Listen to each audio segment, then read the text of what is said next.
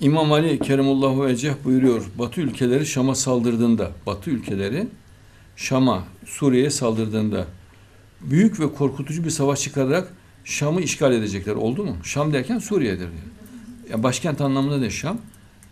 O bölgenin adıdır. Gaybet Şeyh Tusi sayfa 461.